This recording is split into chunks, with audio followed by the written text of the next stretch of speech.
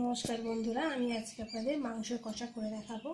মাংস কষা করতে আমি প্রথমে মাংস পাঁচশোর মতো মাংস নিয়েছি। এই মাংসটাকে আমি নুন, হলুদ গুঁড়ো, লঙ্কা গুঁড়ো দিয়ে, পরিমাণ মতো হলুদ গুঁড়ো, লঙ্কা গুঁড়ো দিয়ে মাখিয়ে এক ঘণ্টা আগে ম্যাগনেট করে রেখেছি। আলুটাকে আমি নুন আর হলুদ দিয়ে ভেজে তুলে রেখেছি।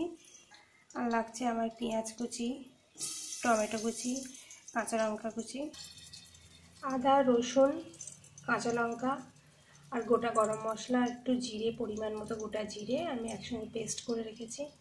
লাগছে আমার সর্ষের তেল, আমি এখানে পতঞ্জলি সর্ষের তেল ব্যবহার করছি। লাগছে আমার জিরে গুঁড়ো, হলুদ গুঁড়ো, লঙ্কা গুঁড়ো, ধনিয়া গুঁড়ো, পরিমাণ মতো আমার নুন লাগছে। আর লাগছে গোটা গরম মশলা, তেজপাতা, শুকনো লঙ্কা একটা, আর সামান্য গোটা জিরে। এবার আমি ওই তেলেতেই রান্না শুরু করব। ওই তেলেই আমি আরও একটু তেল দেবো।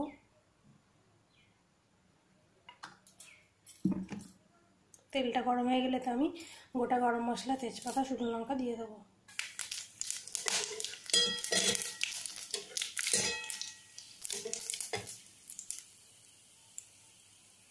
এবার এতে আমি পেঁয়াজটা দিয়ে দেবো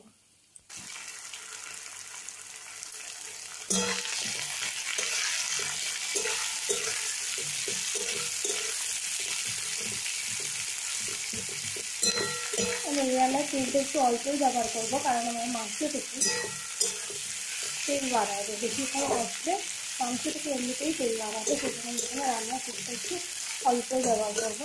আর রান্নার তেল কম খাওয়া মানে শরীরও ভালো থাকবে।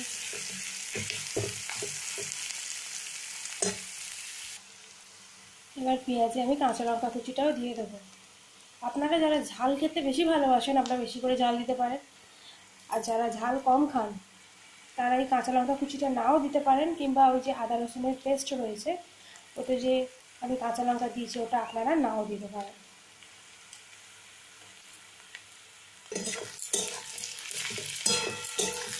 পেঁয়াজটা আমার হালকা ভাজা ভাজা হয়ে এসছে, আমি একটু ভেজে নেব।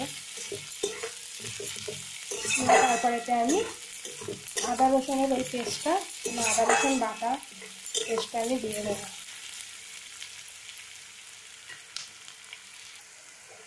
আপনারা দেখতে পাচ্ছেন পেঁয়াজটা আমার ভাজা ভাজা হয়ে এসছে, এবার এটা আমি আবার ওখানে পেস্টটা দিয়ে দেবো।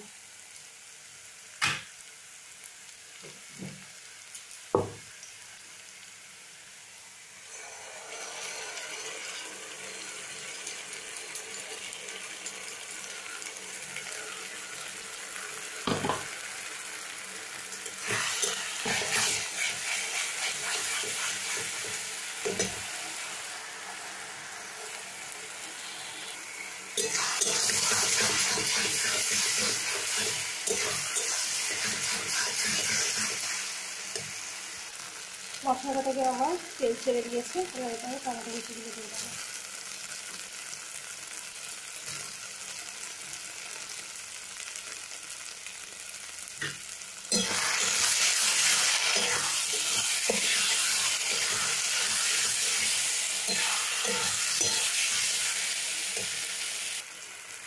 আমি মাংসটা দিয়ে দেবো।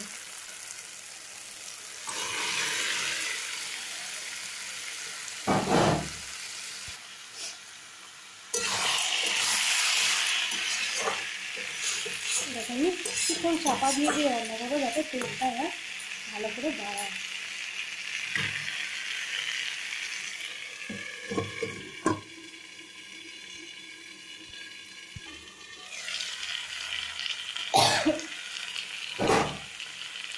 এখানে দেখতে পাচ্ছি মাংসটা থেকে তেল ছেড়ে এসছে।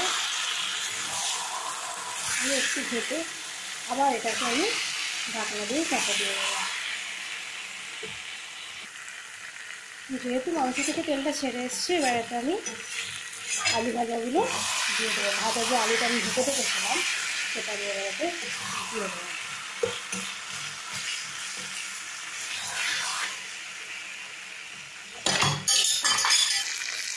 ভাজা আলুটা আমি দিয়ে দিয়েছি।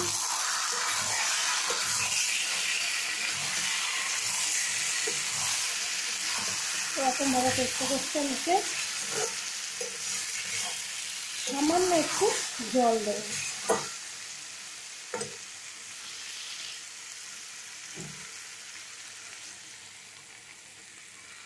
আমি আদা রসুনের পেস্টগুলোর যে পাত্রটা, সেই পাত্রটা তুমি দিয়ে দিয়ে দিলাম। আমি আদাটা জল দেবো না, এটাই আমি এবার চাপা দিয়ে চাপা দিয়ে করতে থাকব। মাংসটা আমি এবার সামান্য জিরে দিয়ে দেবো।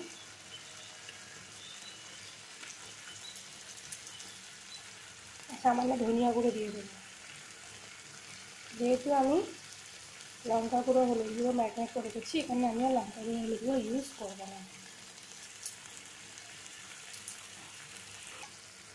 আপনারা দেখতে পাচ্ছেন আমার মাংস কষা রেডি আর ওপর দিয়ে একটু গরম মশলা গুঁড়ো ছড়িয়ে দেবো। এবং গার্নিশের জন্য একটু ধনিয়াটা কুচি ছড়িয়ে দেবো। এটা আমি এবার ধনিয়া পাতা কুচিটা ছড়িয়ে দিলাম।